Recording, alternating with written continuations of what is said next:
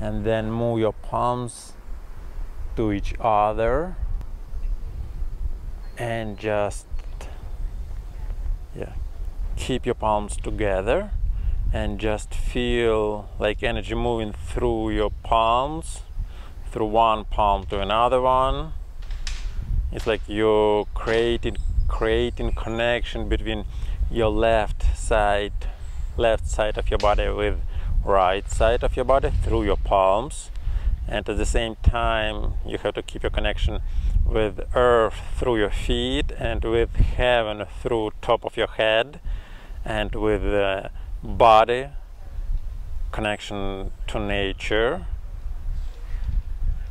Just feel all these connections.